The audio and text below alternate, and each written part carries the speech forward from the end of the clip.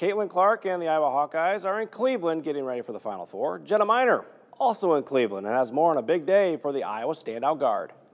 Caitlin Clark joins some elite company, becoming just the ninth female basketball player to win the back-to-back -back Naismith National Player of the Year award. The 2024 Jersey Mike's Naismith Trophy for the most outstanding women's college basketball player. Caitlin Clark.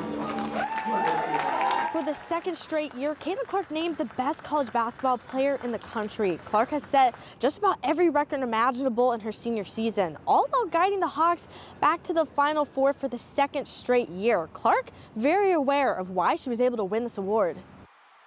I think it's it's really special. I think it's something I probably won't really wrap my head around until my career is all done and um, you know I move on from the college game. But you know it's super special. A lot of those players were people I grew up idolizing and wanting to be like, and now to be able to be on a list with a lot of them is, is super special. I wouldn't be here if it wasn't for them. So being able to share this with them is super special. And you know these are fun memories for all of us. So things that we'll remember for the rest of our life.